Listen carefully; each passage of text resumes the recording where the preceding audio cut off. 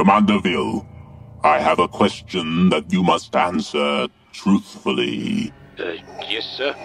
The Emperor programmed the clones with an order to eliminate the Jedi. Uh, Have you been programmed with a similar order to attack me if the Emperor commands?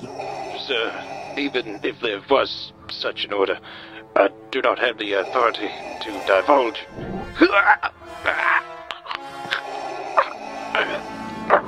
Ha ha ha.